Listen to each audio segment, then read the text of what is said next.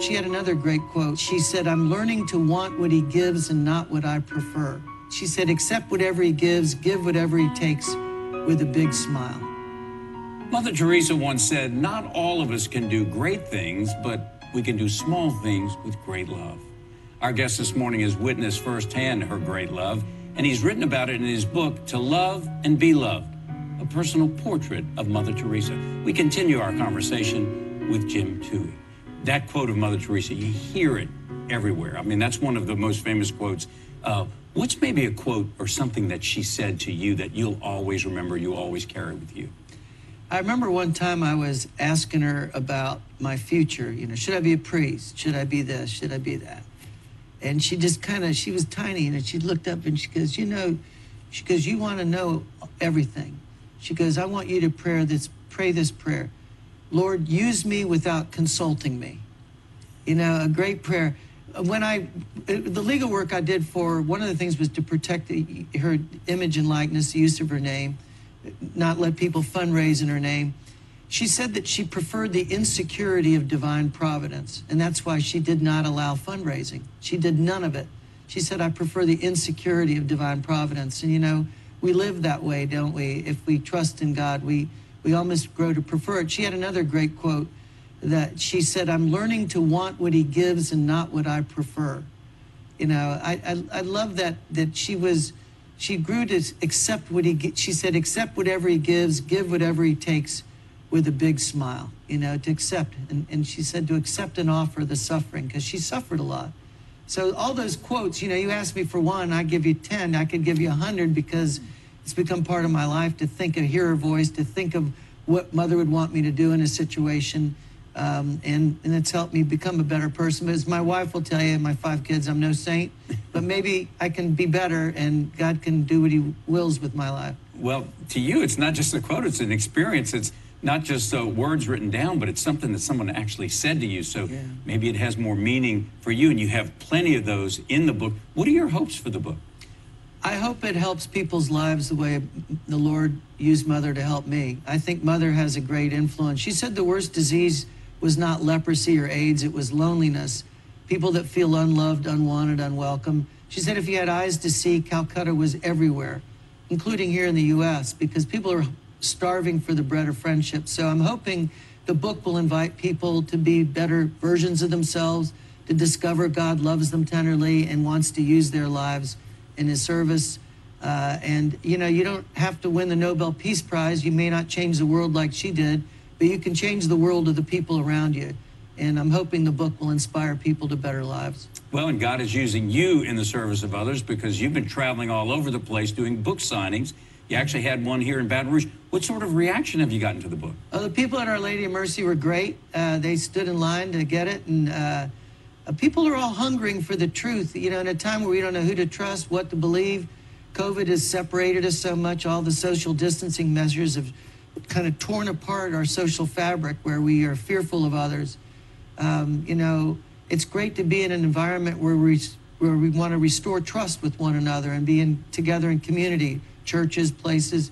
And uh, yeah, I've been all over because since the proceeds are going to the missionaries of charity, I better get to work and uh, you know and help their work because it's it's it's inspirational what these women and priests are doing and brothers all over the world to, uh, to touch the lives of the poor because the poor are with us. And Mother said they're going to be the salvation of mankind. Jim, what can we learn? What can this book, what can she or but your book, your portrait, teach everyone in, in this day and age in, in almost 2023? Well, on her tombstone in Calcutta, of all the quotes of scripture that could be on it, there was one. And it's from John 15, 12, which is, Love one another as I have loved you that is a core message, isn't it? To this this understanding that God wants us to love others the way we're loved, to forgive others the way we've been forgiven, to be merciful the way God's shown us mercy. And uh, if we live by that message, we would serve. You know, we would we would try to reach out and give what we can. You know, for some people that are suffering with Alzheimer's and Parkinson's, just the company of an individual to come and be with them makes a world of difference. So yeah, um, I think Mother Teresa has a great lesson to teach us, and I hope the book is instructive in, on the way of doing little things with great love. Yeah, and, and it's been 25 years um, since she passed away. Um, what do you think she would say about what's going on now, about all this that we've been through, uh, whether it's the pandemic or whatever else, the war in Ukraine, whatever else is going on in the world? What do you think Mother would say today?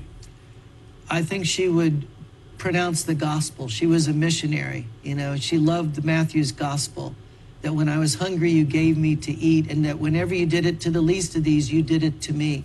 She used to take, uh, I remember seeing Janet Reno with her hand and Mother Teresa's hand, and Mother went, You did it to me. She called it the five finger gospel. But it was that awareness that what we do to our neighbors, we're doing to God. I mean, this world seems to have forgotten God. And uh, Mother Teresa invites us to remember there is a loving God who's created us for a divine purpose and that we were made in the image and likeness of God. And so I think that call to recognize our great human dignity and then to be a gift to others, uh, this is needed more than ever. Well, what's next for you? I know you're doing a lot of book signings, but what's, what do you have next? What's next for Jim Towey? I'm with Aging with Dignity, a not for profit I started at Mother's Encouragement with her blessing back in the 90s that has Five Wishes Advanced Directive that helps pl- families plan for and discuss end of life care. And so Five Wishes is now in 40 million Americans' hands to help them plan for and discuss end of life care. Mother knew she had come from God and was going to God. Sometimes we medicalize these discussions, but the process of going home to God, end of life care, is a deeply personal, spiritual, emotional. And so uh, we do Five Wishes programs all over the country, and Aging with Dignity is very popular. And you can go to fivewishes.org and learn all about that. But that's what I spend a lot of my time on to help families uh, have these difficult but necessary discussions. What about your next book? you got another you book in the gave works? me one. You gave me the Two Saints. Two. Well, I, I think that uh, I never knew I was going to get this done, but I finally did. I'm glad that was a bucket list item. I'm a grandfather now. I'm, uh, I've got five kids that I love to be around. So, but but it, meanwhile, I'm going to go wherever God leads me. I do try to follow God's holy will, and uh, He dragged me to Calcutta against my will in many ways, and, you know. And I've seen what the Lord's done in the 37 years since. I don't know what's ahead. It's in God's hands. Where can uh, people out there uh, keep up with you? Where can they get the book? That kind of thing. Uh, they can become free members of Aging with Dignity. So agingwithdignity.org. Uh, they can sign up for my blog. Uh, they can get five wishes. Uh, but I do blog. I blogged yesterday on a great woman, Radora Donahue, that went home to God. Uh, and so I, I do blog on the issues of our times, and people know what I was writing about COVID and what I'm writing now. We need each other. We got to get back together with each other because of the. The, the COVID was a time for us all to take stock of our lives. And now we have to learn how to, to live with fear and uncertainty, but to depend upon God and to believe there is a loving God with divine purpose. And uh, yeah, so that's a message that needs to be made. And if God wants to use me, I'm ready to go give it. Finally, if there's one thing, one thing that you, you want people out there to remember about Mother Teresa, what would it be? The call to love, the call to serve. You see it all over. People, there are a lot of lights out there. We can get consumed with the darkness, set free indeed. A lot of ministries here in Baton Rouge that are transformative. They're lights in the darkness. So, not to be discouraged, to be people of hope, to realize that God's loving and leading us back home.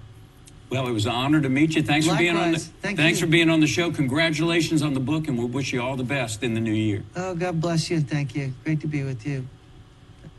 Well, for more on the book, or if you want to contact Jim, head to his website, agingwithdignity.org. That's agingwithdignity.org.